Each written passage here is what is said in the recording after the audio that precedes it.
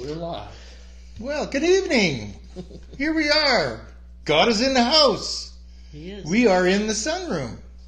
We're in the house. We're in the house. God is in the house. You know, uh, you know, God's house is always a healing house. Did you know that God's house is always a healing house? You should go to our website. Well, if God's in it, then he's Yeah, it's a healing house. Yeah, and Anthony, our uh, web guy, he's put up something there in regards to um, a prophetic word that Apostle Vincent Poole gave us in 2022, about November, December, saying he really sees Mm. Holy Spirit Sands as a house of healing, and praise God, we're we're going to hold on to that because we have a whole bunch of people that need healing Well, here and true. around the world. So a healing house is a good place, right? And God being Every the healer. house. Yep, God being the healer. Yes. So uh, is healing, um, you know, healing has to have some element of faith, Mm. hmm right? So uh, faith is important in healing. Yes. And why is that? To believe and to trust the one who is the healer. Amen. Yes, And healing is is the children's bread. That's right.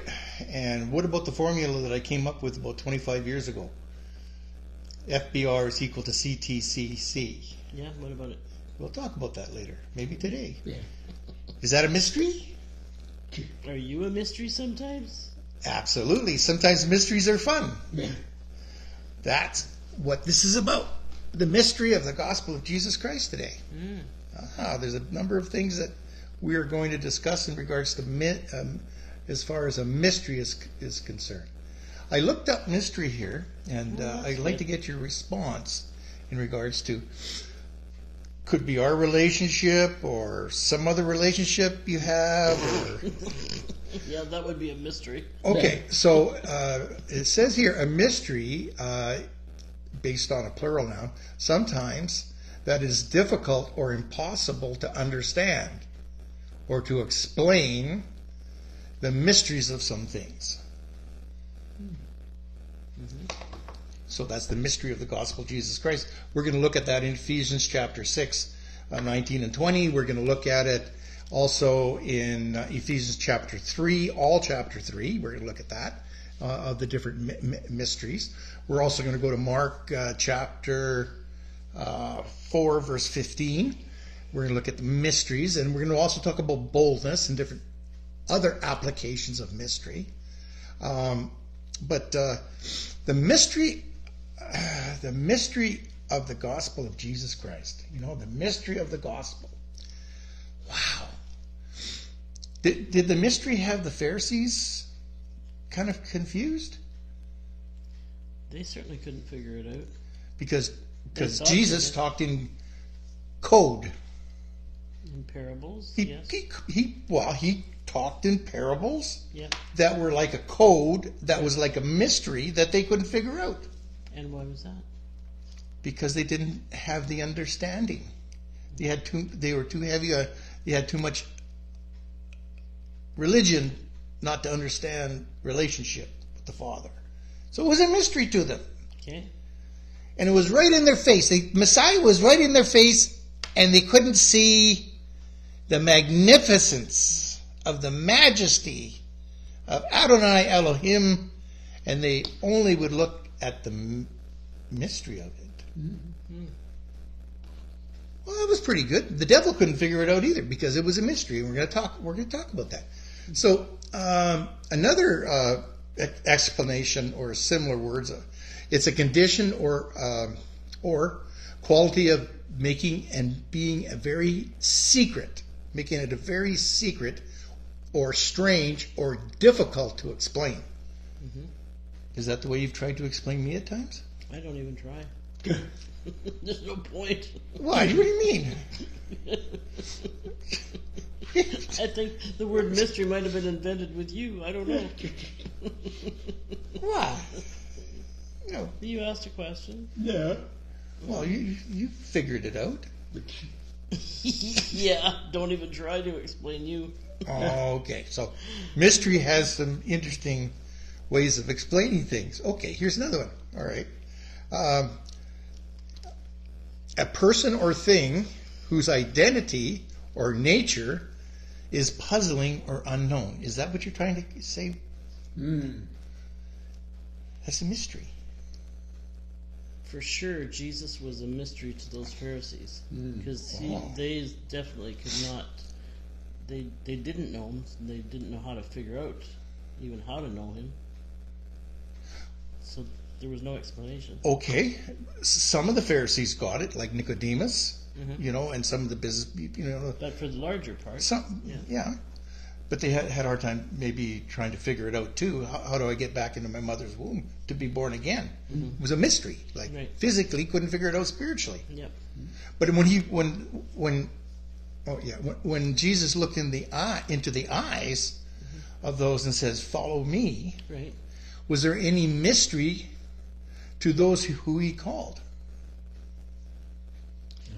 Well, they understood the direct invitation. It was a direct invitation. It wasn't clouded in other wording to make it a mystery so much. Yeah, they saw him as a rabbi. Not all of them saw him as the Messiah, but they he says, "Follow me," and looked into their eyes, and they followed him. Mm-hmm. Isn't that kind of similar with me? You looked into my eyes, and Oh, brother, there's a stretch and a half.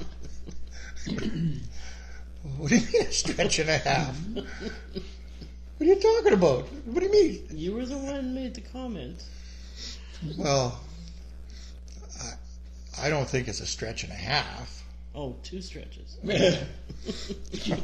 So you're saying that that it's a real mystery, What is a mystery? a, a puzzling object. Well, your comment was looking into your eyes. Well, yes, and you followed me, and Jesus says, "Follow me," and they followed him. Uh-huh. Now they weren't puzzled, but you weren't puzzled either. You just kind of So, yeah. uh, Okay, okay, here we go. All right.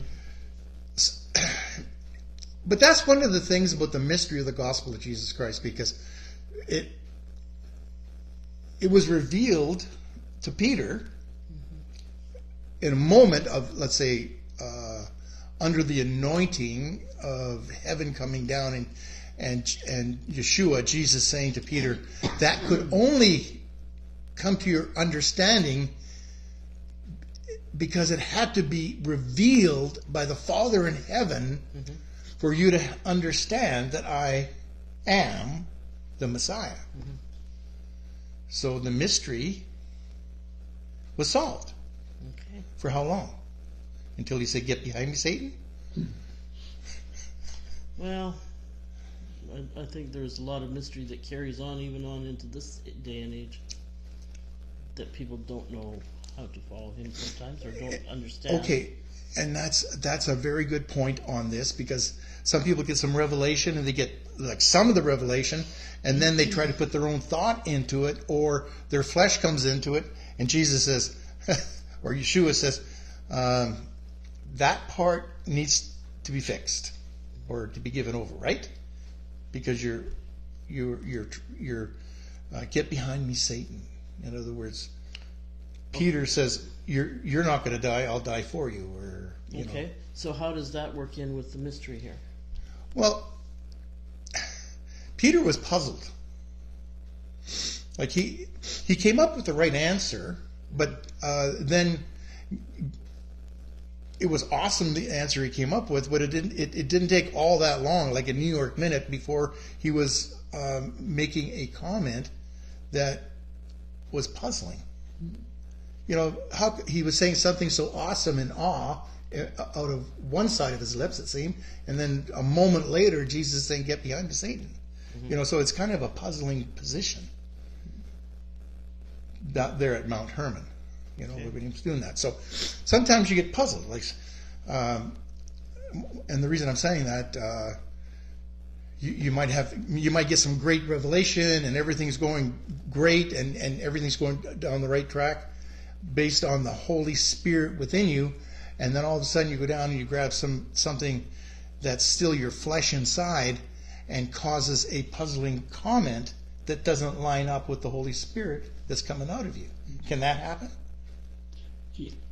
Can people be puzzling? It's all of a sudden like they're moving in the Spirit of God, and all of a sudden the next day they they come up with a, a question or or a remark that doesn't make any sense at all because it comes from their flesh. Is that puzzling? How can how can it be both? Right now, whatever you're talking about is puzzling to me. Yeah. Okay, so I made my point. Maybe I did. Talking about something that's really not relevant to anything. Oh, it is relevant. okay, so oh yeah, uh,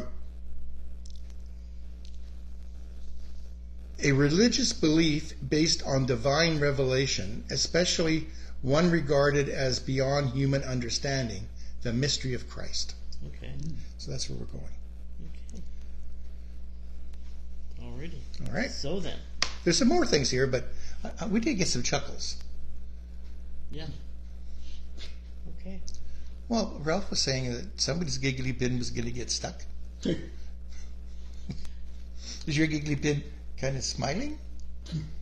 Or is somebody out there really laughing?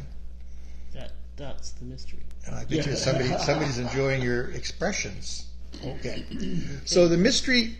Um, let, let let's go. Um, Okay, so I'm going to interject. all right. So you've you've you've talked about Jesus, you know, speaking to the disciples, "Follow me," right?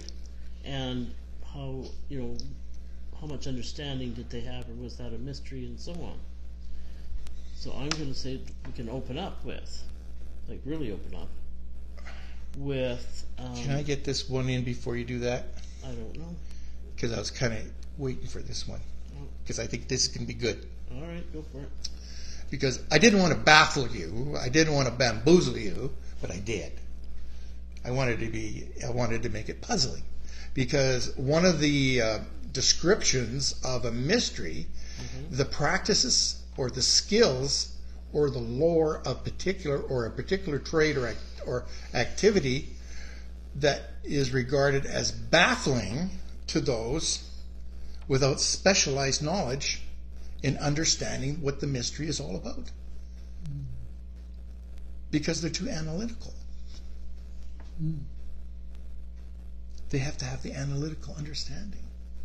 They don't trust the Holy Spirit. It baffles them. Let's see. Okay, is that a good one? Am I still am I still a mystery? Honey, there are days. Okay. I just Some wanted days to more than others. I just wanted to clarify a couple of things there, and, and uh, oh, look at that, she's smiling. Okay, So, so you were you, you're talking about following Jesus. We're yeah, following and, Jesus. and the mystery of the gospel of Jesus. yeah, and we're going to Christ. go through that. And so Right, then we can speak about or, or even thank the Lord for the examples of the like walking as Jesus walked. Yeah, And so um, so we can say based on based on that and the, the mystery of the gospel, I thank you, Father, for the example of the life of Jesus. Amen.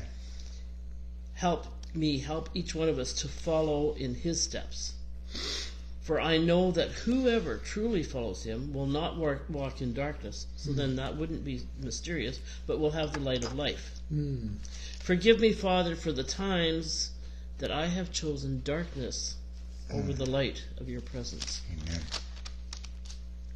So there's a place there that each one of us, you know, we, if we're honest with ourselves and with God, will acknowledge that we have chosen darkness over the light of His presence. Ah, Help me, Lord God, to love you above all others and all other things. May I listen to your voice, be known by you, and follow you. Now, for some people, that could be a mystery. May I not be a stumbling block in anyone's path, or be discredited as your disciple this day because of my words or actions. For you have said in your word that whoever claims to live in Jesus must walk as he did. So in that, it's pretty clear, not necessarily a mystery, but for some that are not in that place and ready to open hearts up to Him, then that will be a mystery. So, Lord, I just say, may I become a disciple who, like the Apostle Paul, can say to others without boasting, Follow my example, mm-hmm. as I follow the example of Christ. Mm. Empower me by your Spirit, and we need Holy Spirit, to be an example of Jesus in my home, maybe in our place of work, neighborhood, or school, everywhere that we go about our days. May my encounters with friends and strangers alike be seasoned with the presence of Christ. And may I fix my thoughts and my eyes on Him. Mm. In everything, may I set an example by doing what is good. Even in the face of suffering, may I be an example of patience. Mm-hmm. And Father, I ask that you would give me opportunity to entrust to someone else all that you are teaching and showing and showing me. Huh. May I ask, Father, I ask that you would give me the opportunity to entrust to someone else all that you are teaching and showing me, that I might truly become a disciple who makes disciples. Amen. As one who follows you, Lord, may I continue in faith and stand firm, never moving from the hope held out to me in the gospel. So part of that, the mystery is really that there is no mystery, but there's hope. There's hope in the gospel. Remind me that as your disciple, I have been called to the ministry and message of reconciliation as Christ's ambassador. Mm-hmm. May I be a worthy vessel through whom you can implore others to be reconciled to Christ.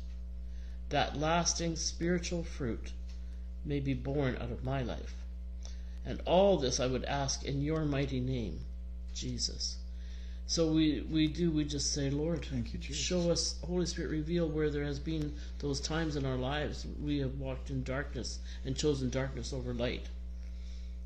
So that we would be truly one who can walk as an example of how Jesus walks and then demystify that gospel because they will see in us who Jesus is. Mm-hmm. And then it becomes not so much a mystery. Yeah, and hard to figure out.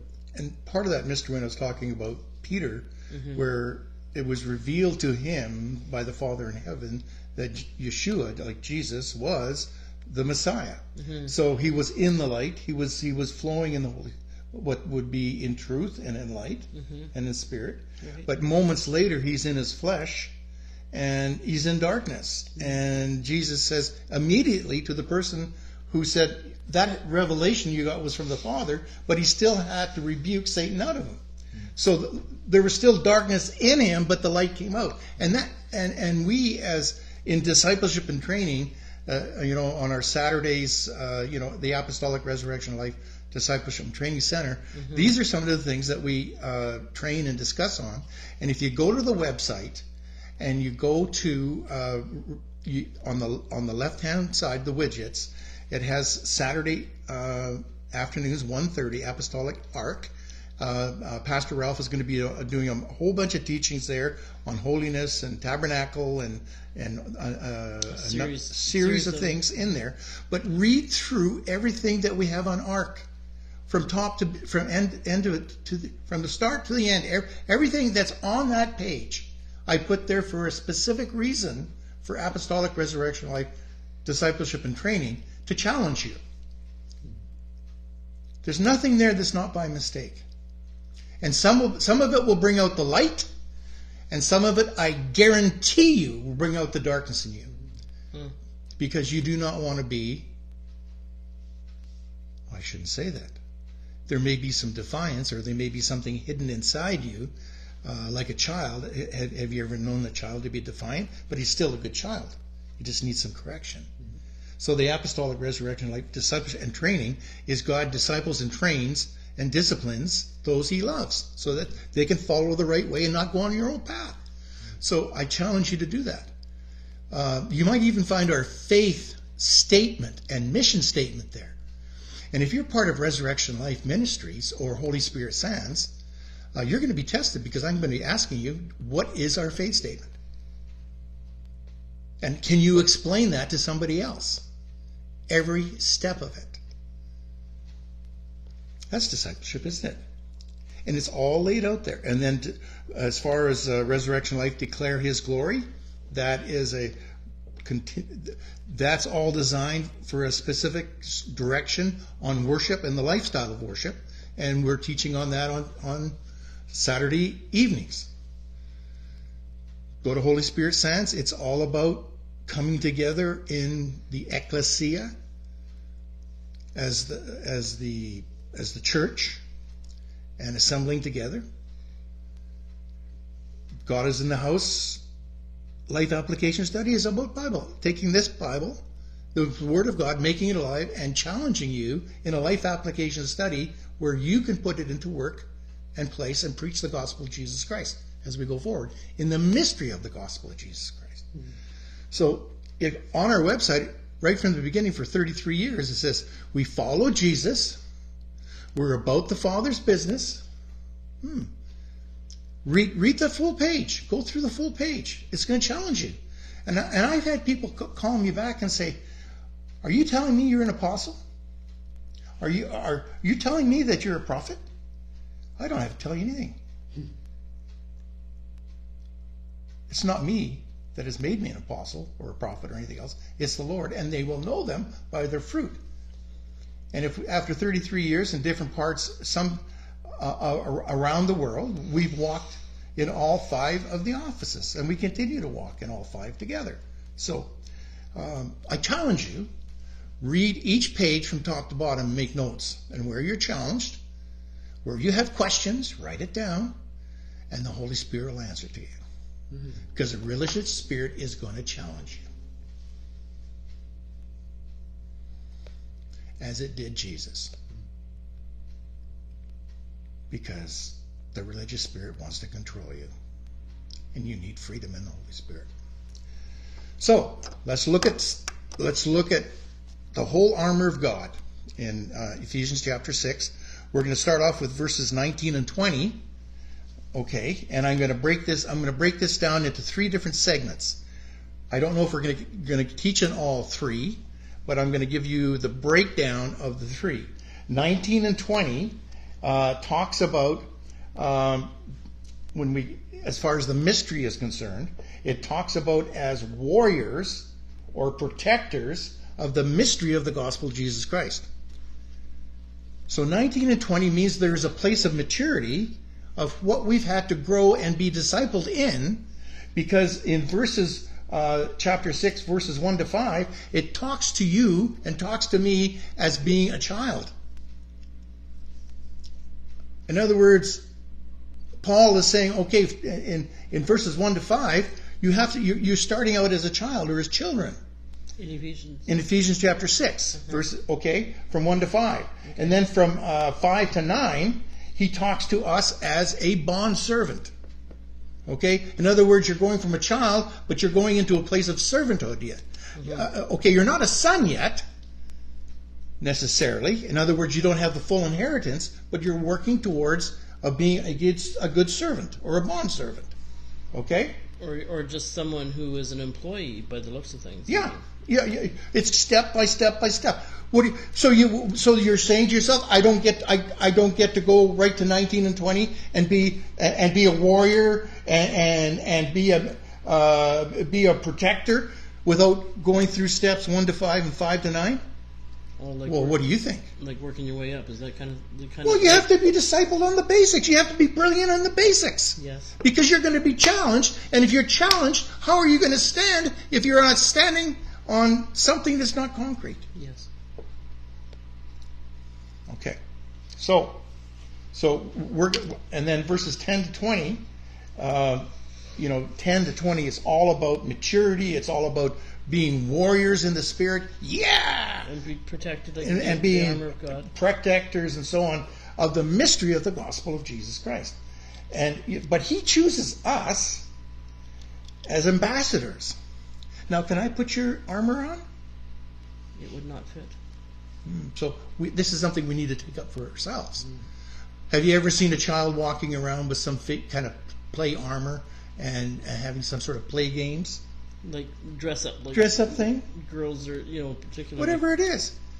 Well, uh, when when we do the full study on the armor of God, uh, and, and it, like as far as chap- Ephesians chapter six, one to five, it, it breaks down. I, I love it the way uh, Paul breaks it down in, in, in the first four verses.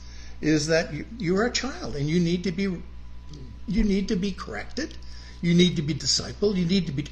I'm going to have to change your diapers.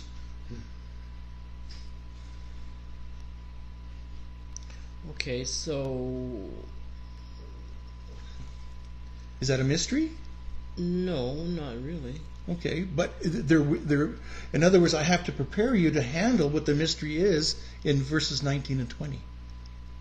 You have to grow into it. So, do you, do you want to read verses 1 to 4?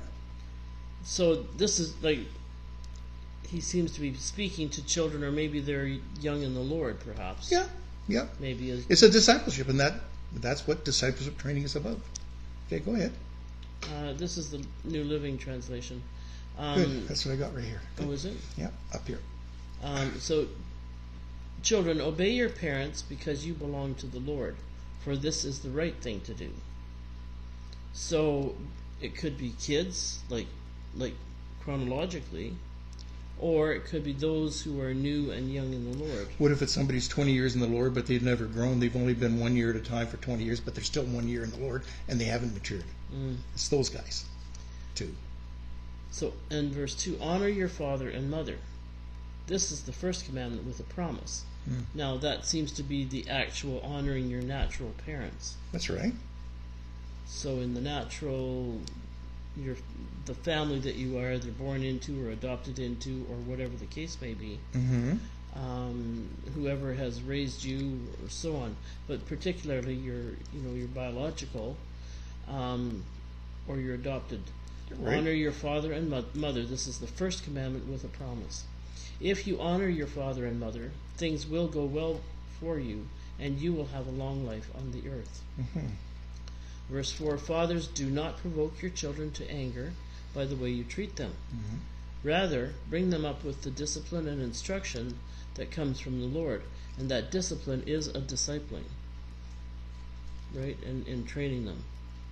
Well, okay. So for Jason and Kelly, when they did something wrong, okay,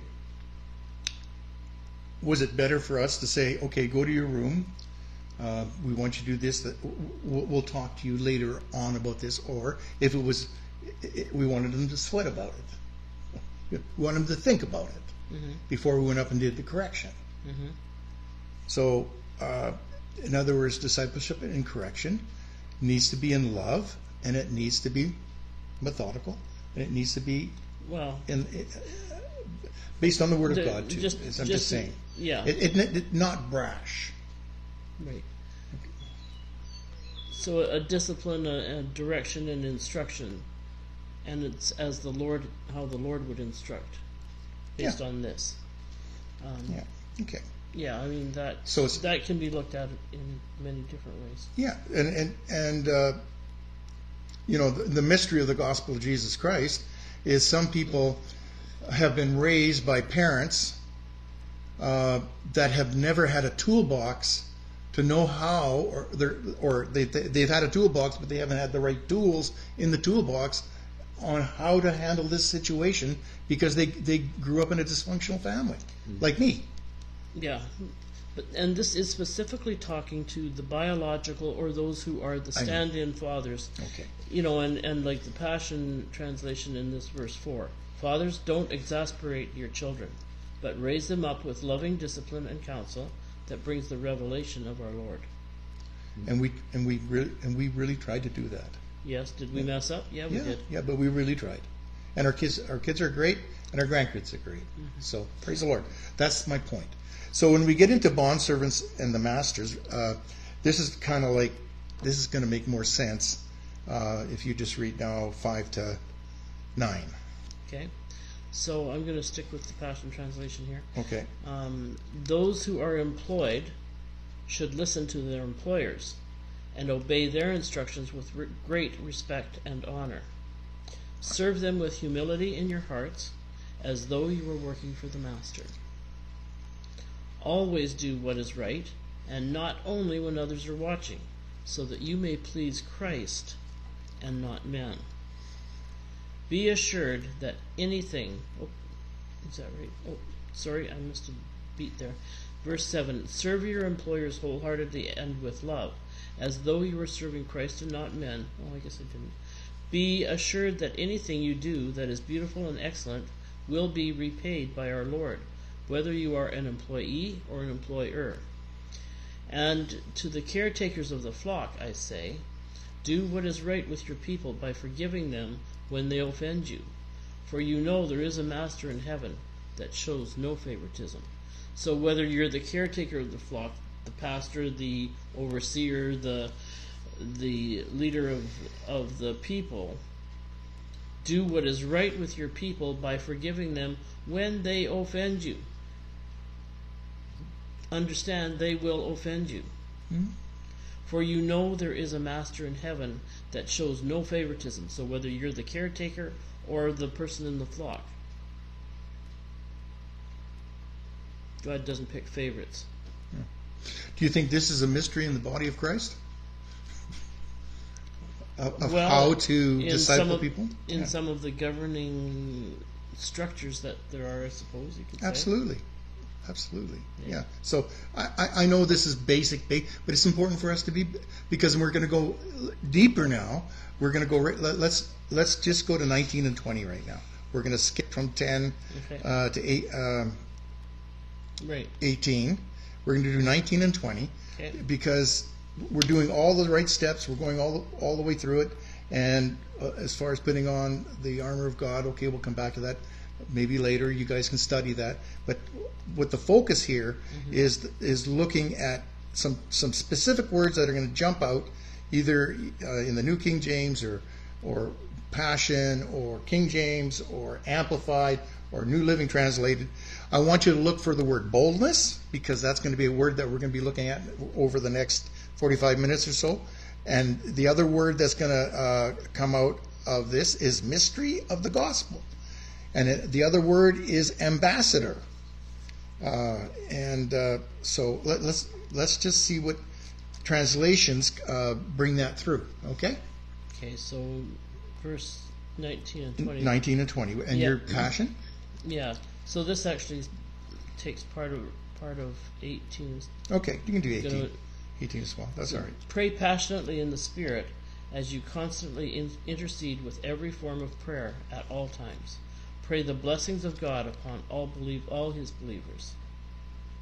And pray also that God's revelation would be released through me every time I preach the wonderful mystery of the hope-filled gospel.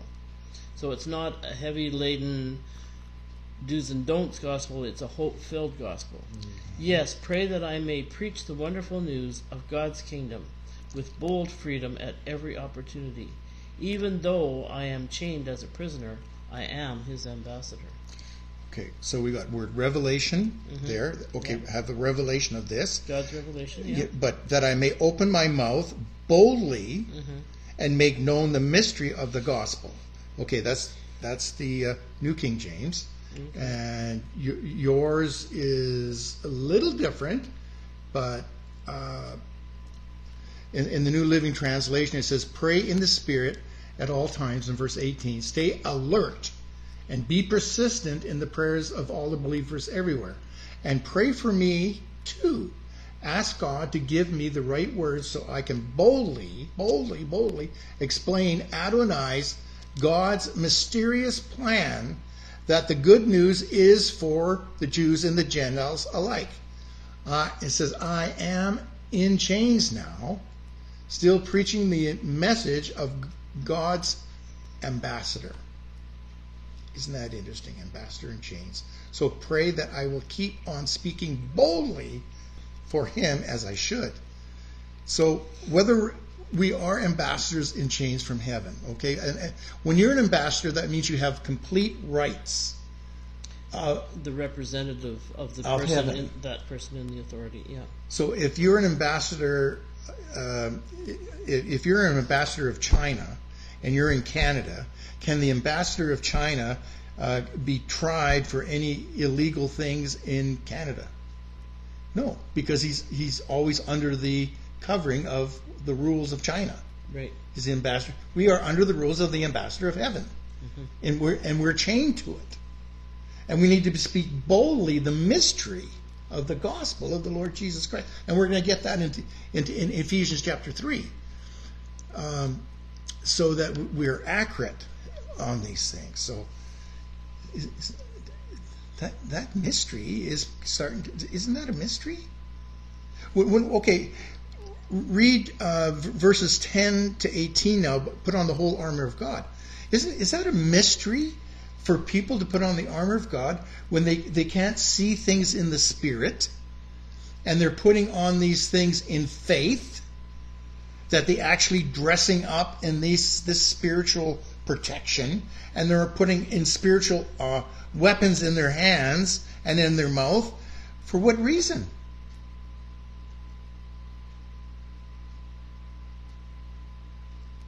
so that they're protectors, they're warriors. They're no longer children. They've, they've earned the right to put on the armor of God. As a child, you can't put on the armor of God because you can't go into the into battle and not know and be trained properly. Make sense?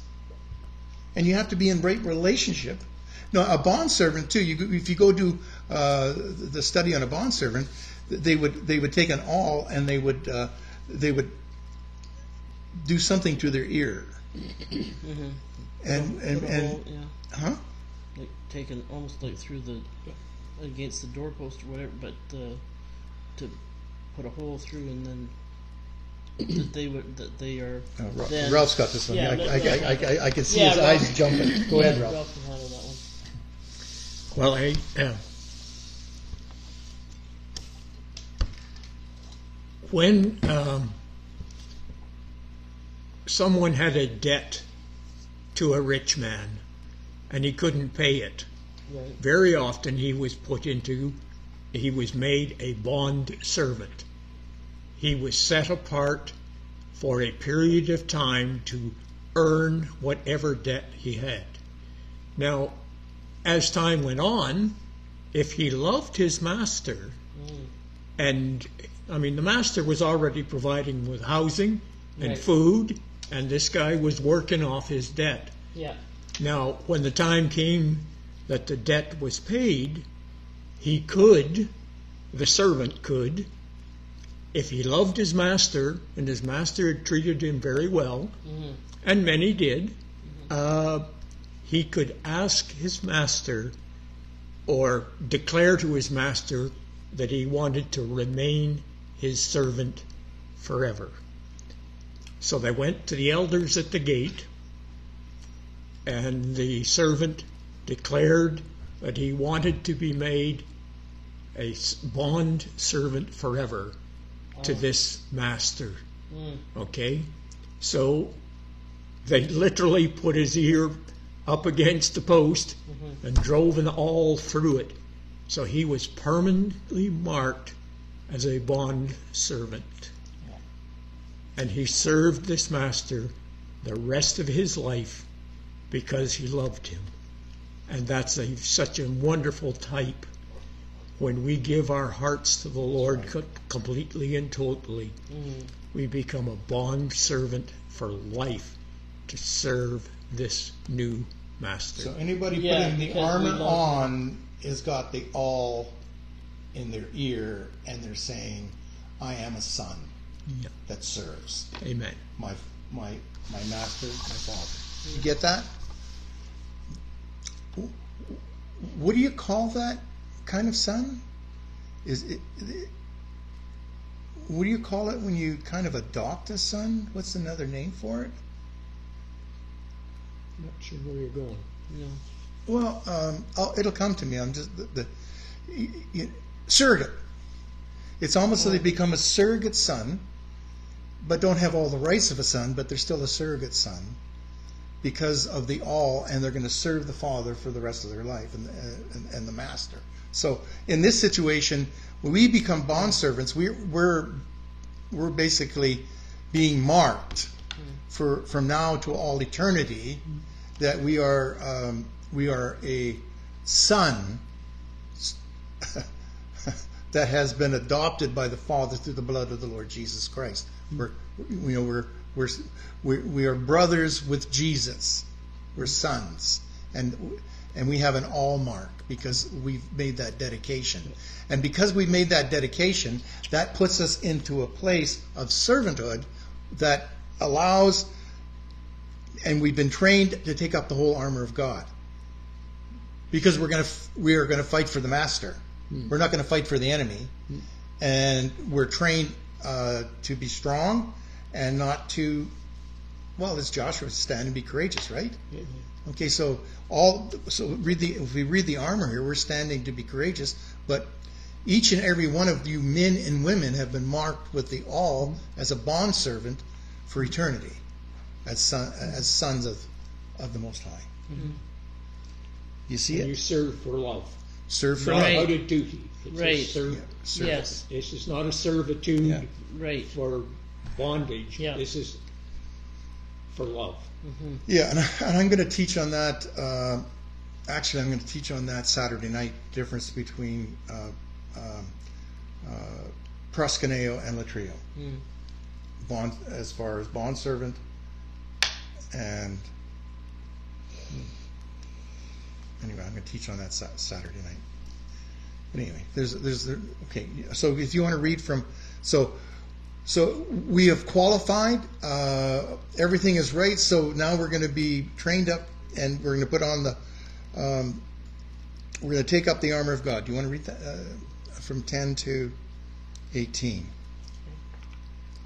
Um, yeah. So now, for now, my beloved ones, I have saved these most important truths for last.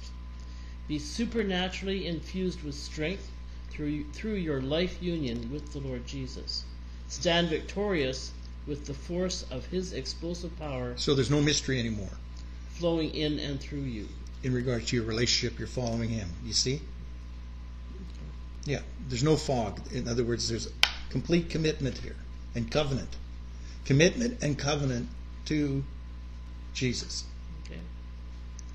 Um, put on God's complete set of armor provided for us, so that you will be protected as you fight against the evil strategies of the accused accuser. Sorry. Your hand to hand combat is not with human beings, but with the highest principalities and authorities operating in rebellion under the heavenly realms. Hmm. For they are a powerful class of demon gods and evil spirits that hold this dark world in bondage. Because of this, you must wear all the armor that God provides, so you're protected as you confront the slanderer. For you are destined for all things and will rise victorious. Verse 14 Put on truth as a belt to strengthen you to stand in triumph.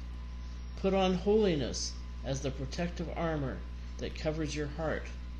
Stand on your feet, alert, and then you'll always be ready to share the blessings of peace. In every battle, take faith as your wraparound shield, for it is able to extinguish the blazing arrows coming at you from the evil one. Embrace the power of salvation's full deliverance like a helmet to protect your thoughts from lies. Hmm. And take the mighty, razor sharp, spirit sword of the spoken word of God. And then it goes on to pray passionately in the Spirit. Yeah, so I'm just saying, is this a mystery to some people sitting in church today? Well, if they don't know their word and haven't uh, been trained up in the, the word and uh, discipled, it could be.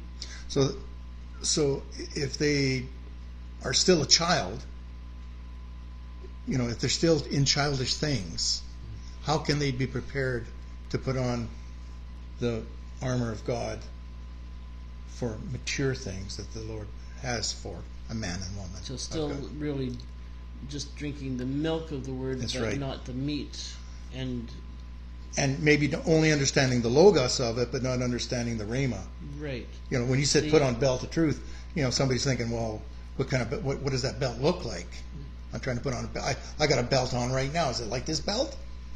You know, like like so. We're not going to get into that teaching, but I, but both physically, naturally, and spiritually, all things things are happening, and your eyes have to be opened up to it because I can guarantee you, the devil and his horde can see you in it.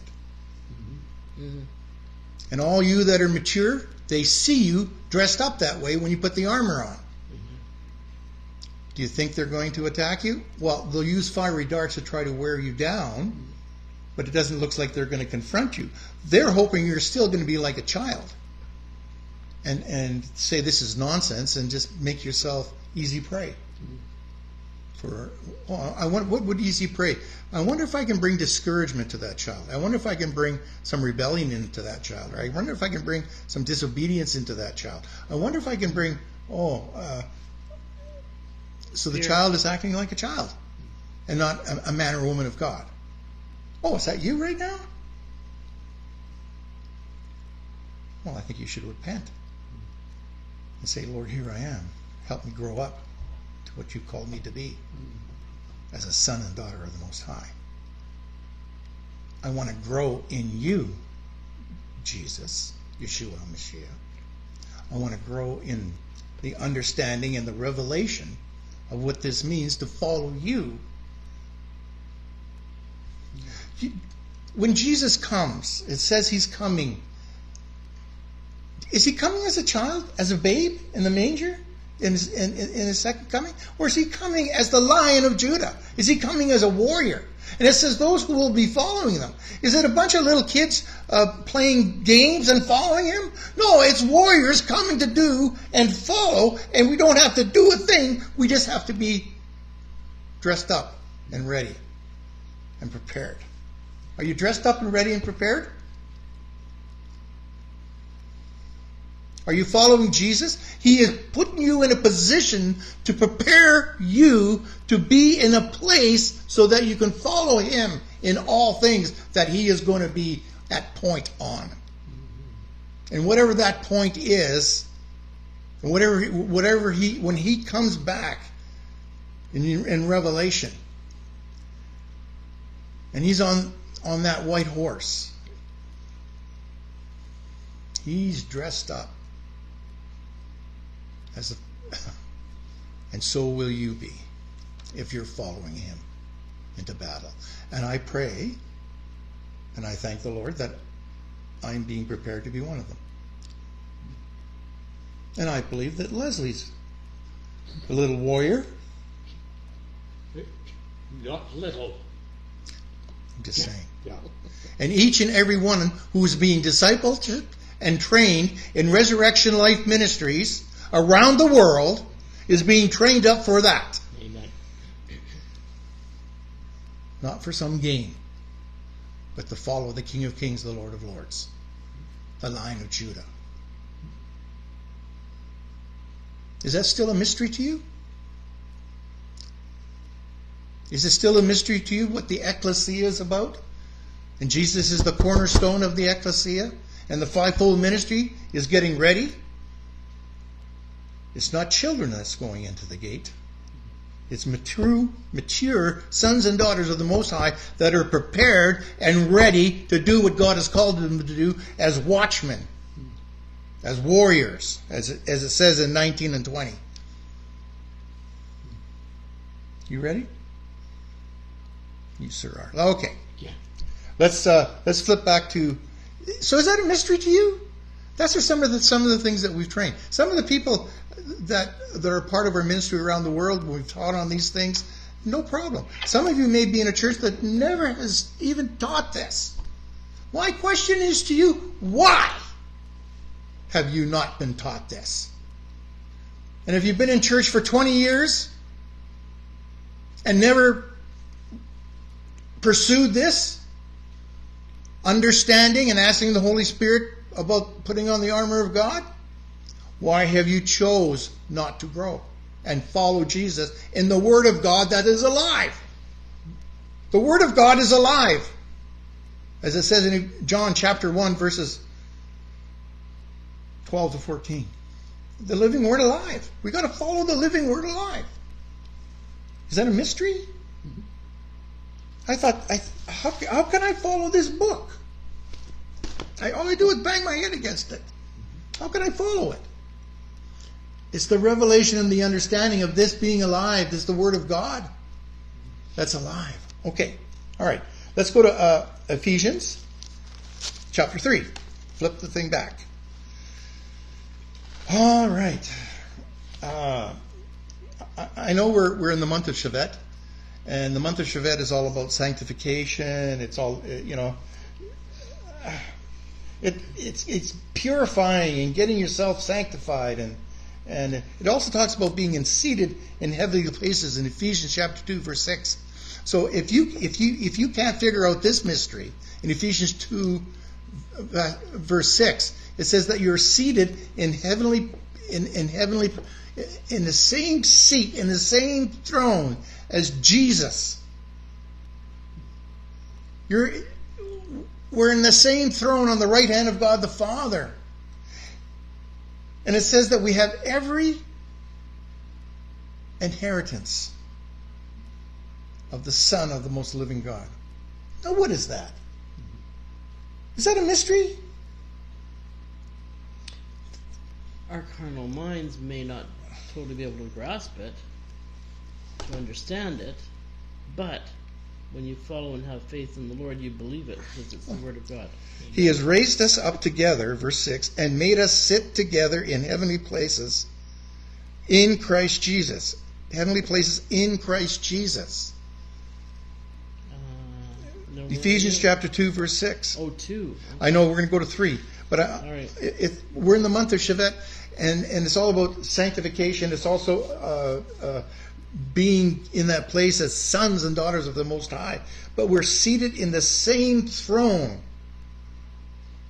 as Jesus, Yeshua HaMashiach, on the right hand of Adonai Elohim. what have you got? Ephesians 2, verse 6.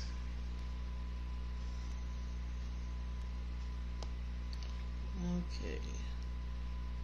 And he raised us up with Christ, the exalted one, and we ascended with him into the glorious perfection and authority of the heavenly realm. For we are now co-seated as one with Christ. So we're not we're not even on our own we're as one with Christ. We are co-seated. We share this. You know, it's being seated together as one with Christ. Wow. That's, It's interesting. that's you know that's all part of the mystery. Mm-hmm. How Yeah. we can have Christ in us Right. and be in Christ. We're seated in heavenly places in Christ. Right.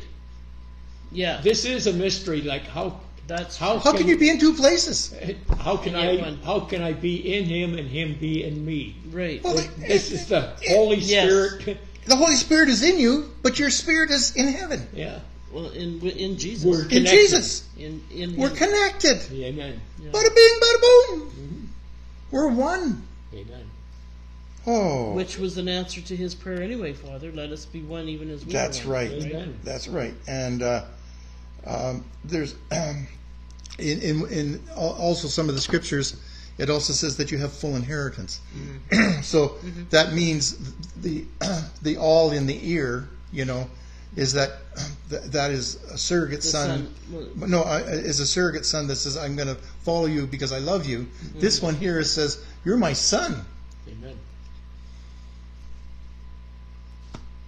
What did I have to do for it? Well, you've surrendered and gave your heart to the Lord Jesus Christ. And so we're one. So, okay, so so it's a mystery. Some people have, uh, you know, I've been, some people get challenged by that, and uh, because they can't figure out the quantum physics of it. You know, E is equal to mc squared. Like, how does, you know, how does that equation work? Well, at light speed, it works. Yeah. And the really awesome thing about that is that our Creator is outside of time. He created yes. time. Yes. Yes. So, I mean, time exists inside of Him. Mm. Yeah, so that's How the point. that, yeah. So now we're we are seated in heavenly places in a, in eternity, in an eternal time, because we have resurrection life, as Jesus said to to Martha in uh, in in John eleven twenty five. I am I am the resurrection and the life. You shall not die if you believe in me. Do you believe this, Martha? Do you believe this, Leslie? Do you believe this, Mary? I sure do. but I, I'm the mystery of the gospel. Okay, so let, let's go to. Um, it, these are some mind benders. Are they puzzling? You know, some of the descriptions I gave. Is it just, is it is it hard to figure out some of these puzzling things? Yes, it is. So um, let's start off in, in chapter 3 let Let's read from uh, one to seven. Beloved friends, because of my love love for Jesus Christ, I am now his prisoner for the sake of all of you who are not Jews, so that you will hear the gospel that God has entrusted to me to share with you. For this wonderful mystery, which I briefly described, was given to me by divine revelation, so that whenever you read it, you will be able to understand my revelation and insight into the secret mystery of the Messiah. Okay, so when we were looking at Ephesians 6 19 and 20, there are some words I said revelation, boldness, right? Uh, the boldness is going to come through revelation, ambassador, different things, uh, power. Okay, so keep going.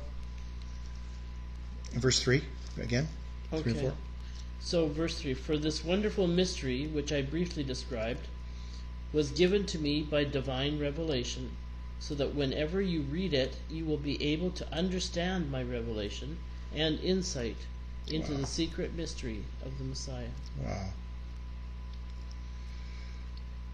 In the New King James, and by which you, by which, when you read, you will understand my knowledge in the mystery of Christ. So, in other words, these words need to come alive. If they're just words on the on the paper, uh, it, it, it, it's going to be no different than the Pharisees. They couldn't understand the parables. But if you come to the place of having the revelation in the Holy Spirit to see this, because the, the devil couldn't figure this out, or else he wouldn't have crucified Christ.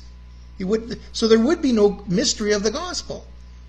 It was hidden from the devil and was hidden from the religious spirit. Do you think it's hidden from the religious spirit again today? Absolutely.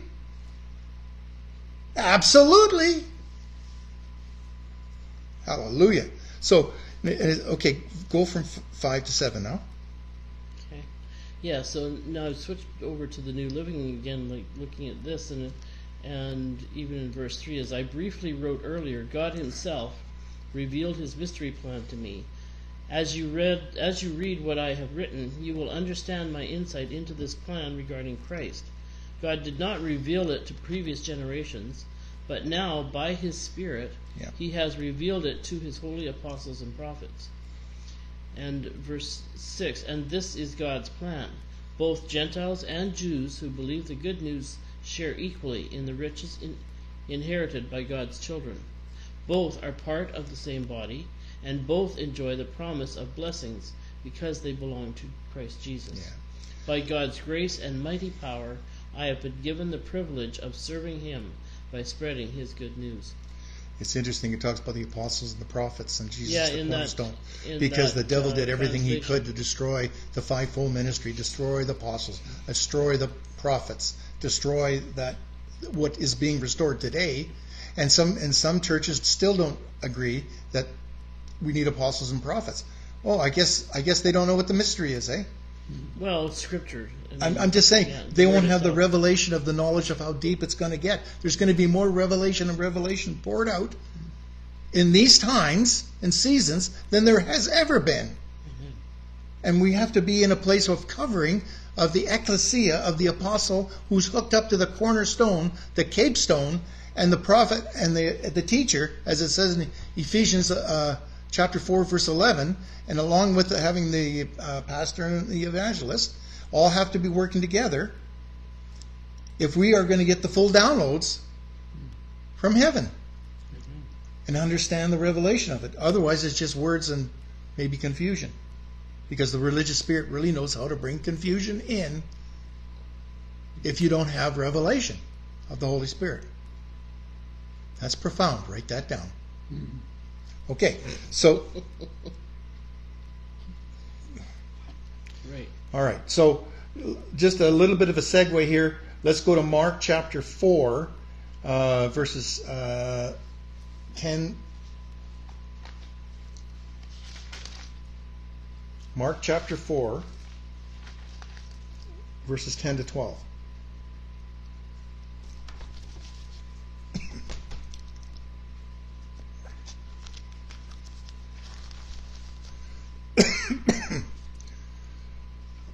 When, when we get to verse 15, it shows you how uh, the devil wants to steal something. Okay, so um, the purpose of parables, all right? So th- this is the purpose of code. This is the purpose of the mystery of the gospel of Jesus Christ. Okay, so let's let's go from. Can you read from 10 to 15? Okay. Yeah. Um, the purpose of the parables. Afterwards, Jesus' disciples and those close to him remained behind to ask Jesus about his parables. He said to them, The privilege of intimately knowing the mystery of God's kingdom realm has been granted to you, but not to the others, where everything is revealed in parables. For even when they see what I do, they will not understand. Right. And when they hear what I say, they will learn nothing. Otherwise, they would repent and be forgiven. To how far? 15. Well, well uh, yeah. Okay, verse 13 now. And then he Yeah. said to them, If you don't understand this parable, how will you understand any parable? Let me explain. The farmer sows the message of the kingdom. What falls on the beaten path represent those who hear the message, but immediately Satan appears and snatches it from their hearts. Okay. So verse 15 there, we'll go further, but uh, on verse 15, um,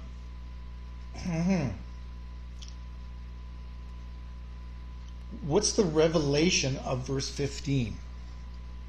Why is, what is Satan stealing? Well, he's stealing the word. Mm-hmm. What's that? He's stealing the word. So why is that good?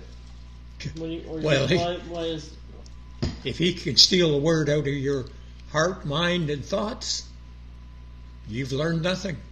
You're still in your sin. You're still lost. You're still. Mm-hmm. Yeah. He's still got you in his kingdom. right? That's what he's after.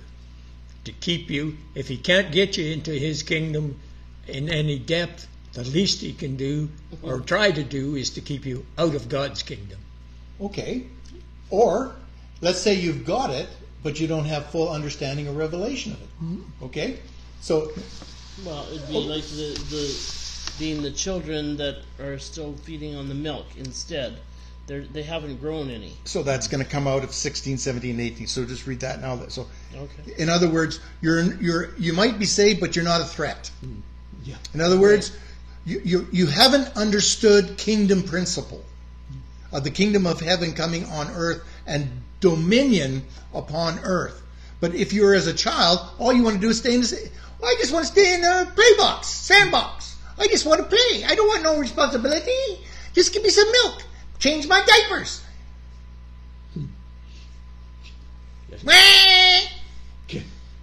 Disobedience.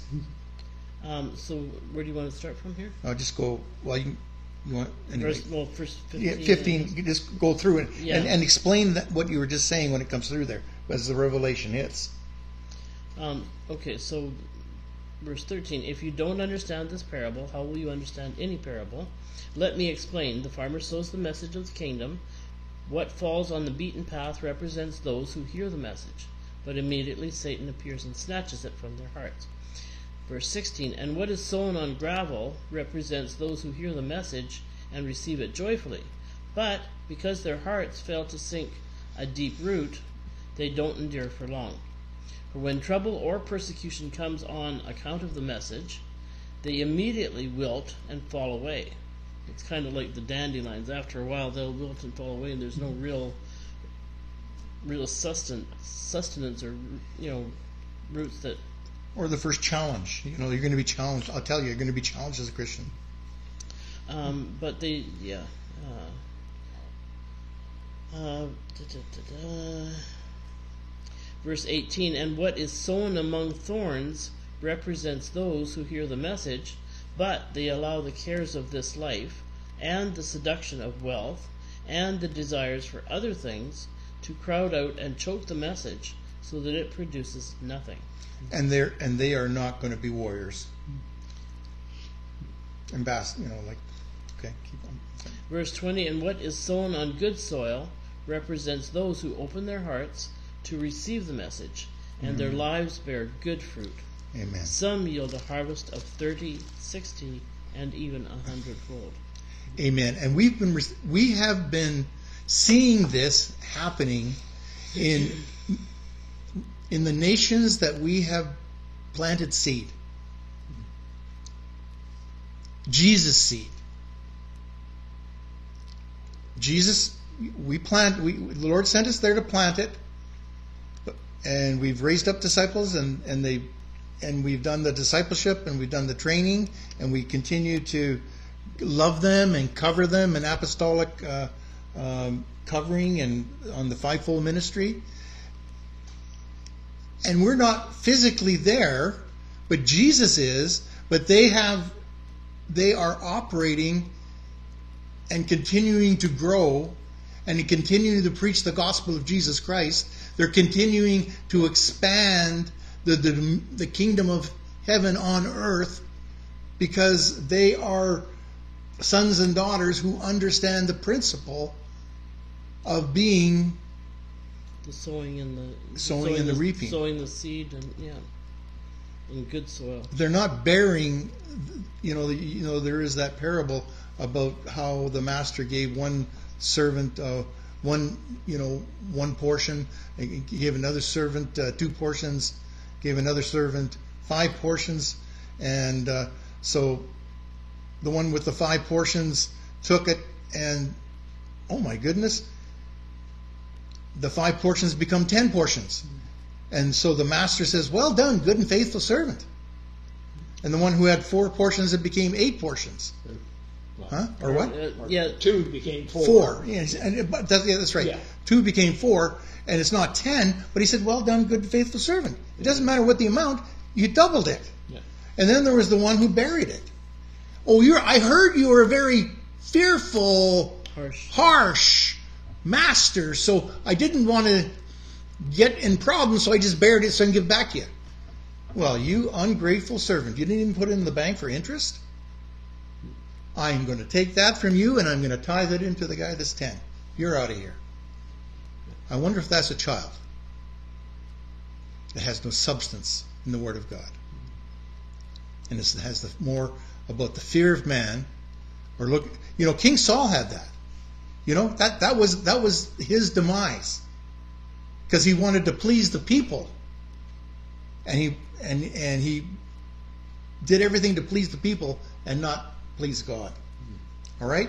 So if you're about pleasing the people in your ministry, uh, you're going to be hearing the ripping of the prophet Samuel coming to rip whatever it is that that uh, God has given you off you because he's not going to allow you to continue to minister for your ministry or a people's ministry.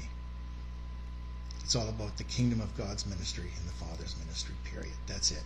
So you So stop pleasing yourself, stop pleasing man. Please God. Prophet Samuel. Lost, you lost. Prophet, uh, yeah, First Samuel, verse fifteen. First Samuel, chapter fifteen. It's all about uh, Samuel taking uh, correction to Saul because he, he because of the Amalek, Amalekites. Uh, uh, he, he was supposed to kill King Agag. He was supposed to do everything. So he decided to bring all the spoils back and please the people and he brought, and and King Sam, uh, but Saul was disciplined by the prophet Samuel because God said, "Take it away from him. Take his mantle off him. Give it to another." And that's where David came in. So you want to give into another? Operate like that. It'll be gone soon. there was a lesson in uh, that that all of that nation were totally given over to demons. Yeah. And all of their livestock were demonized. And that was why Saul was to kill them man, woman, and child, Right. and animals. To get rid of all that. So when he disobeyed, Yeah. he brought all of that back into God's Yeah. kingdom. Yeah, and the And- DNA of all yeah, those people. there it is. The obedience versus disobedience. Yeah, Yeah. that's in Samuel 15, verses 20 to 22. Yeah. So let's go to verse 8 here. In, we're back to Ephesians Mark? chapter In 3. Ephesians. Yeah, we're in Ephesians. So that, that gives you, an, I I wanted to bring in the application of uh, the parable of the mystery and why the religious spirit didn't get it and why some things were hidden. So um, now we're going to do the uh, what they call the purpose of the mys- uh, of what the mys- mystery is all about. We just in, in chapter three, verses one to seven, it talks about how the mystery is revealed. The gospel of Jesus, the gospel, uh, the mystery of the gospel is revealed. Now we're going to talk about how the mystery of the gospel has the direct purpose uh, in our lives. So we'll read from eight to thirteen. Okay.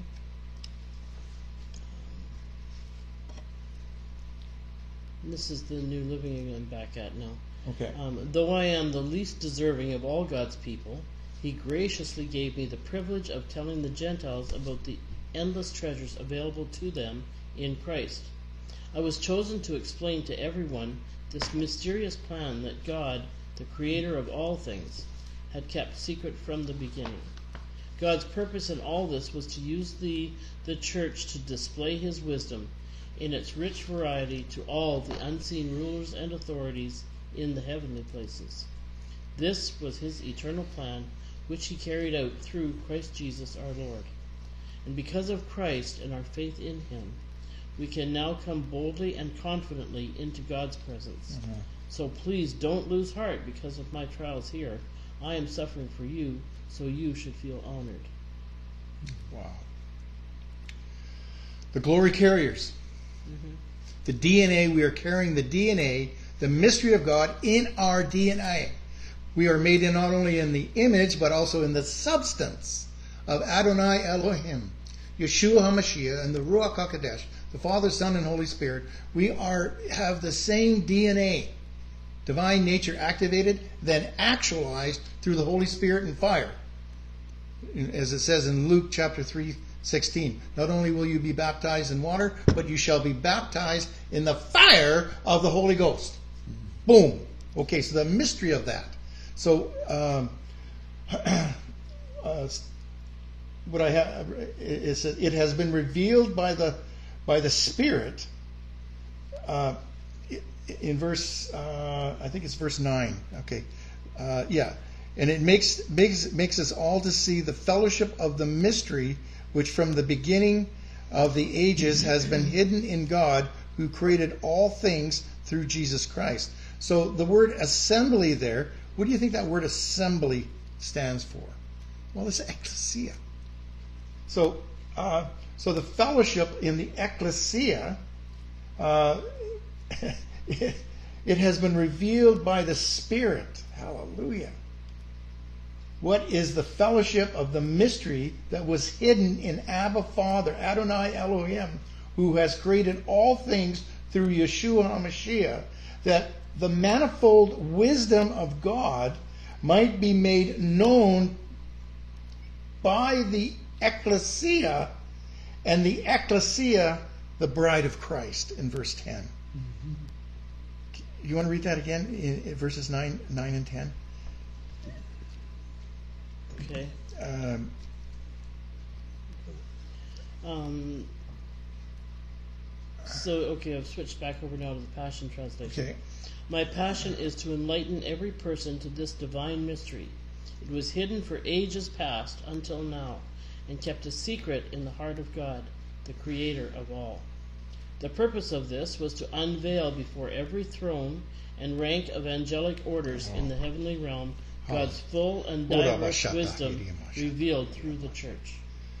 This perfectly wise plan was destined from eternal ages and fulfilled completely in our Lord Jesus Christ, so that now we have boldness through him and free access as kings before the Father because of our complete confidence in Christ's faithfulness. Amen. I hope you see the way that we're setting this up, as that we did in Ephesians chapter six, how the first four verses was was getting the children in order, and then verses, uh, you know, uh, five to uh, nine was was getting the teenagers or getting getting the servants in order, so that they could become warriors from ten to twenty. So you know, the, the being brilliant in the basics allows you to be bold in all the things, all in all, in what we are called in the fivefold ministry and all the gifts. So, um, so the, all that is being made known to the ecclesia through the fivefold ministry and to the bride of Christ. So, in verse again in verses nine and ten, also uh, I'll read this out of the Amplified. Also to enlighten all men and make plain to them what is the plan regarding the Gentiles and providing for them the salvation of all men. Can you get the NLT? Got it? Or, or, or, or no? Yeah. And and and the and it says of the mystery kept hidden through the ages and concealed until now in the mind of God. In the mind who created all things by grace in the mind of God. In Philippians 2 5, it says that we need the mind of Yeshua. We need the mind of Christ. In other words, the revelation of that is going to be continue to give us more revelation and understanding. In verse 10 it says, the purpose is that through the ecclesia, the complicated and many sided wisdom of God, that remember the puzzle, everything I was talking about, the mysteries, all these mysteries, these puzzles, okay, the complicated many sided uh, of the wisdom of Adonai uh, in all its infinity and variety of innumerable aspects might be made known to the angelic rulers, okay, and authorities and, princip- and principalities and powers in heavenly places. This is in accordance uh, with the terms of the eternal and timeless purpose which he has realized and carried into effect in the person of Christ Jesus our Lord. So, the resurrection life for now and forevermore. You see it? You know, when, when I when I got this revelation of how that was resurrection life now and eternal, that you know, um, all the rest that are, it says the principalities and powers in heavenly places. Uh, basically, the religious church has fallen asleep to all this, and don't understand this, and the religious spirit is keeping them in bondage and, and keeping them in a fog so that uh, they stay in a place of disorder. They stay in a place where they can't understand what or have the knowledge to through the Holy Spirit, and they're not allowing the Holy Spirit to work through them, so they can come into the revelation of this. So that uh, of the mystery of God. So, uh, any any comment on that before we move on, or? Because I like what you said in verse 13. What have you got anything there, Ralph? It looks like you're digging. Yes. You're digging on something. You got you got, you Well- got your silver pick up, your Yeah. gold pick. You're digging and, and you're shoveling. Good stuff out of that word. Bring it alive. In uh, uh, I'm going to read 11 and 12 in the King James. Okay. According to the eternal purpose which He purposed in Christ Jesus our Lord, in whom we have boldness and access with confidence by the faith of Him. We have boldness and access to the presence of God, to the mind of Christ, with boldness and confidence by the faith of Him. Most of the new translations translate it faith in Him. It's not my ability to have faith in Jesus that uh, gives me access and boldness in the presence of the Father. It's the faith of Him, of Jesus. It's the DNA. It's, Yeah. So that faith and, and Him, uh, I've looked this up, are in what they call a genitive case, meaning they show relationship or possession or source. So this faith is sourced in Jesus. It's not in me. So it's His faith that enables me. Mm-hmm. So all of this access was bought and paid for by Jesus. Amen. Yeah, and there are, of course, there are a number of places where it talks about our having faith in Him. So there's there's room for our faith in Him, but most several places, only the King James has gets that the point of that.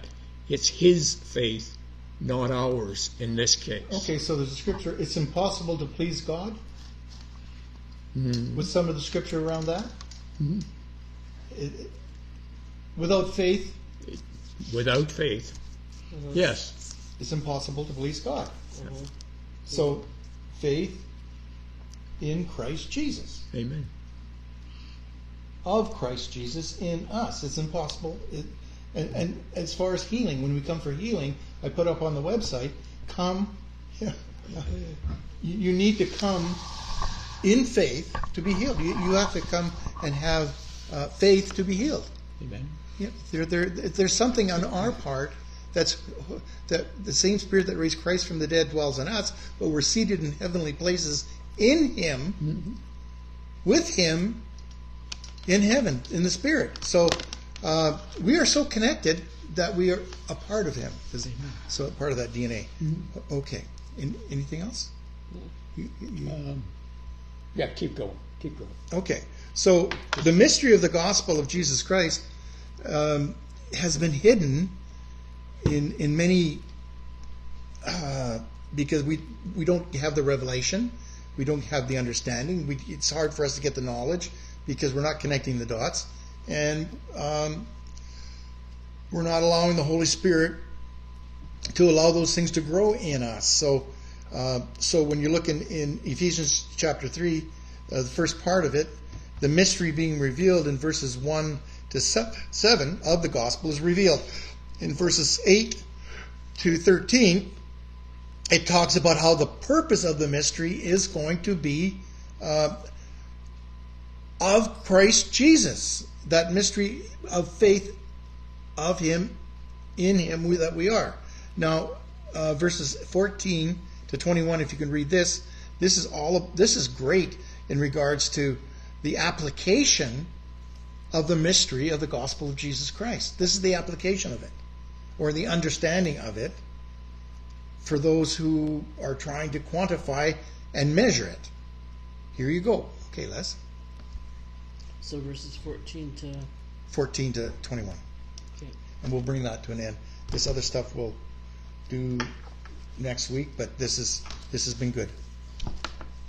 So I kneel humbly in awe before the Father of our Lord Jesus the Messiah, the perfect Father of every father and child in heaven and on the earth.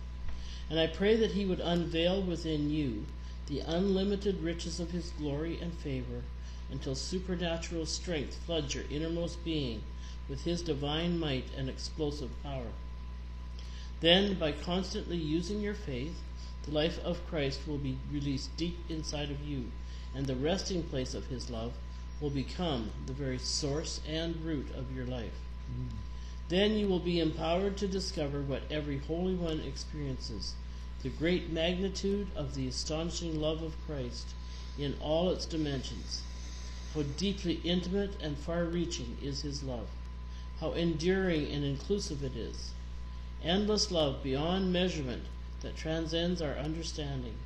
This extravagant love pours into you until you are filled to overflowing with the fullness of God. Mm-hmm.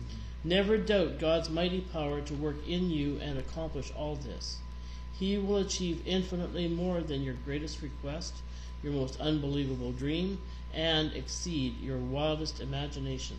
He will outdo them all, for his miraculous power constantly energizes you. And then now we offer up to God all the glorious praise that rises from every church or every gathering in every generation through Jesus Christ, and all that will yet be manifest through time and eternity. Amen. So verse 14 again. 14. I'm just helping you a bit here. You're helping me. A little bit. Um, verse 14, and then our immaturity maturity will end, and we will not be easily shaken by trouble. We didn't even read this.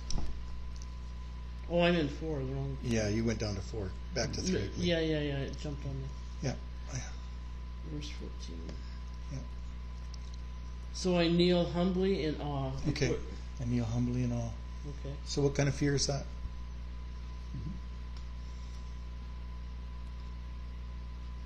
When we stand in awe of the Father, in awe of the Lord. Is that reverent fear of God that we that It's we're a, so it's a, it's a. That's the fear of the Lord. yeah Uh-huh. the awe of Yahweh. So your point is. the awe of Yahweh. Uh-huh. Uh, last week you preached on the, the fear of Adonai, the fear of God. Well, here is The fear uh, of the Lord. Yeah, so this here is the awe of God, and you've heard me at times say, "Well, you know, there's an energized awe. There's a silent wonder. You know, of being where God is, but that energized awe, this awe, this holy reverent fear. D- Isn't that radical amazement of who our God is? That's where these things have came out. Ener- so, uh, resurrection life, unconditional love, unconditional forgiveness, unmeasured acceptance, and love is is this part of our foundation that can't be measured. That energized awe. That uh, where you read in in in verse twenty twenty one. If you can read that last twenty twenty one, we'll bring that to an end. But that's that's the awe that we need to be as servants of the living God to worship Him in spirit and in truth. Never doubt God's mighty power to work in you and accomplish all of this. He will achieve infinitely more than your greatest request, your most unbelievable dream, and exceed your wildest imagination. He will outdo them all, for His miraculous power constantly energizes you. Energizes you. And you know, this is where, for whosoever stands in the need of healing, Yes. you could say and speak into each and every situation for Judith, for um, Nathaniel, like Yeah, Bacon's wife, right? Yes, Um, Sarah. Sarah, for for Carol Flores, for whosoever, whatever the situation is, whether it's a mighty miracle of healing, which when we stand before Him and we exercise the authority we have in Him, we can say, I receive my miracle of healing, right? Which Nicholas mentioned, you know, he talked about that the weekend he was here. So we will speak and say to you who is in need of a miracle in your body, in the finances, in family that would the miracle of salvation and healing and wholeness in a family. Never doubt God's mighty power to work in you to accomplish what needs to be accomplished in your physical body and accomplish all of this. He will achieve, not he might, he will achieve infinitely more Amen. than your greatest request. The biggest request and ask that you could have of him, he will achieve even greater than that. He will achieve infinitely more than your most unbelievable dream. Mm-hmm. What is God's dream that He's placed in your heart and you haven't seen the fulfillment of that yet? He will achieve infinitely more than your most unbelievable dream, and He will exceed your wildest imagination. There's lots of people out there with pretty wild imaginations. Um, those, those, these visionaries, the the ones who have wild imaginations, uh, sometimes, and if without God, can take a person way off track. But with God, with God, that is the power. He will exceed your wildest imagination. He will outdo them all, for His miraculous power constantly not every once in a while, constantly, ever, ever, like Energizer constantly energizes you. So even as we can confidently say, He will do this, His mighty power, mighty power to work in you and to accomplish all these things. We offer up to Him even ahead of time that tada, thanking Him before yeah. the manifestation yeah. of the event. We offer up to God all the glorious praise that arises from every gathering of His people in every generation through Jesus Christ, and all that will yet be manifest through time now and eternity. So even if we may not totally always see everything made manifest in our time, it will get done. Hmm. And into eternity, because we we also share with Him in eternity. We are in Him, He in us, so eternity. And that will be made manifest in Jesus' name.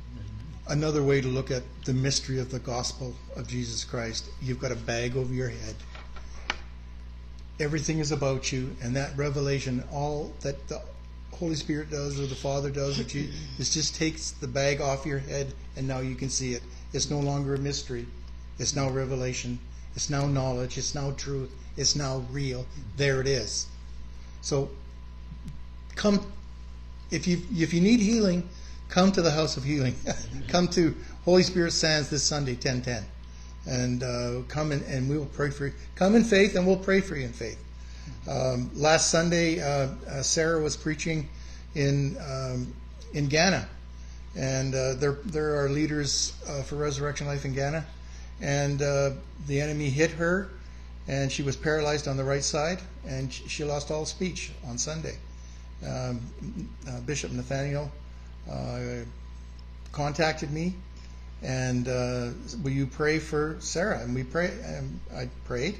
Well, this morning, all a lot of people praying, but sometimes you know the Lord will say, "Go call that person and pray together," because it says here in verse 14 of Ephesians chapter 3, "For this re- reason, seeing the greatness of this plan by which are built together in Christ."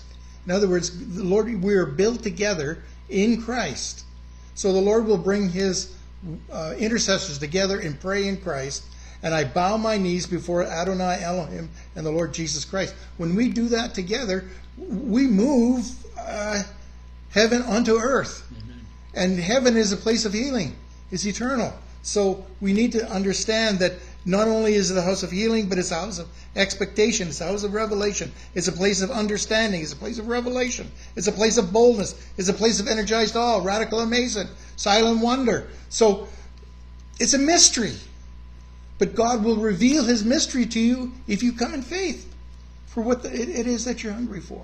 Mm-hmm. And uh, so resurrection life, unconditional love, unconditional forgiveness, unmeasured acceptance, and uh, we come into a place in walking in unity in covenant relationship with our Father in heaven, with the Lord Jesus Christ, the Holy Spirit, but also those who are in the bride of Christ, the body of Christ together.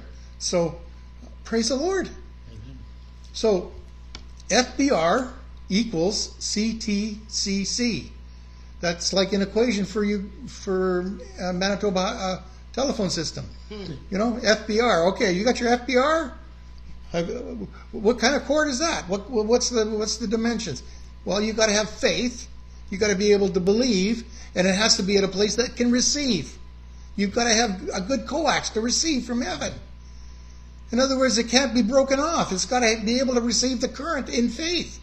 Equals, well, C T C C. There has to be a you really there has to be care. You have to really care you have to be in a place that you're going to trust Adonai and and you got to trust him and there's got to be a commitment and covenant for this to work together if you only got faith belief and receiving but you don't have any care or trust or commitment or covenant with your god how can you connect in faith in in believing in receiving there's there's no connection you've got to connect so what have you got, honey? Let's bring it to. Yet. Oh, so that's what FBR equals CTCC. You've got to be in a place. You have to have faith in your heart. You've got to believe. And you need to go and read our faith statement and mission statement for Resurrection Life. We have that on our on our um, on our website, but it's also right in the arc of that sign. There's a lot of information there, and you'll understand who we are and who we've been for 33 years, and raising up other disciples, and what we believe and how we receive, and how much we care, and how much trust has been put together in unity, and the commitment to one another through the covenant of the blood of the Lord Jesus Christ. That's the formula God gave me. FBR equals CTCC. Alrighty then. So, would you? So, so we can close with Yeah. that word. You know, I mean, this is a, you know, it's a prayer on fire, basically. Um, is where this comes from, but it's a mystery, and it's taken from Psalm 19, verse three and four. Um, without a sound, without a word, without a voice being heard, yet all the world can see its story. Everywhere its gospel is clearly read, so all may know.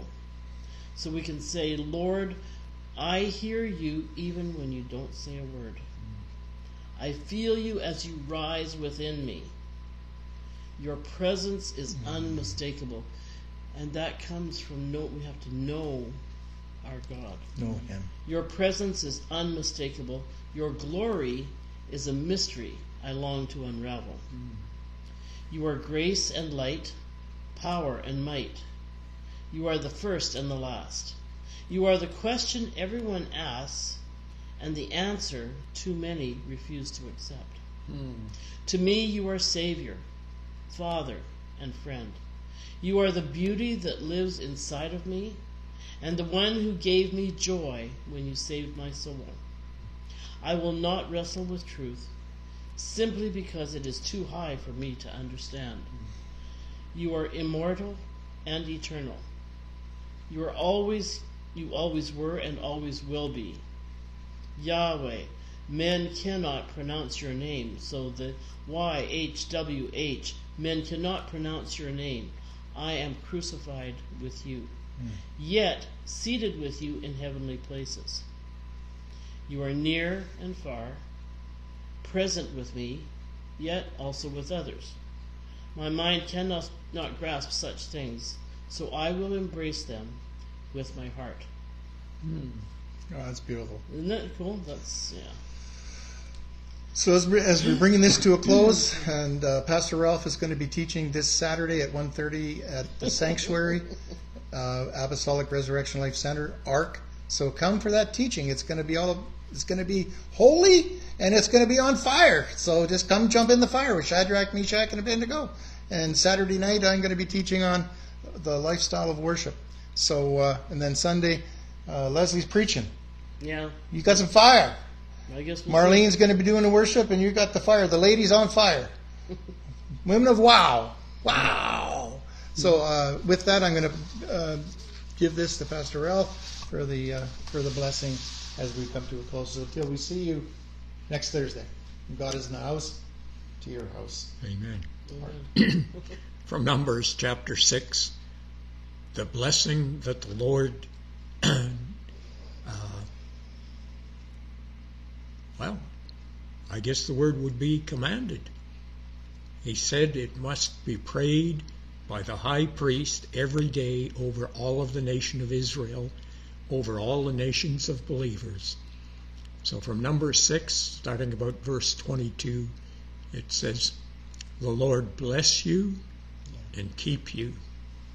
The Lord make his face to shine upon you and be gracious to you. The Lord lift up his countenance upon you and grant you his shalom, placing his names upon you. Jehovah Sidkenu, the Lord our righteousness. Jehovah Rapha, the Lord our healer. Jehovah Jireh, the Lord our provider. And the Jehovah Shalom, the Lord our peace. The Lord bless you and keep you until we see you Saturday. Saturday. Oh, yeah. Used to Saturday, a Sunday, but back here a week from now, Thursday. So I pray that the mystery of the gospel of Jesus Christ is no longer a puzzle. Hmm. You've got the knowledge and understanding. Till next time. Blessings.